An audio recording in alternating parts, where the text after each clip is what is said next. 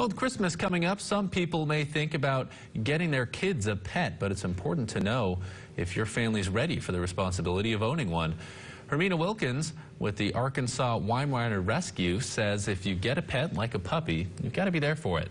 We do try to discourage families from getting puppies during the holidays. Um, unless they can, you know, tell us that they're going to be home, they're not having people over, it's going to be calm and quiet, then it's okay. Wilkins says if you do decide to get a pet, it's important to have a routine and to have pet supplies ready.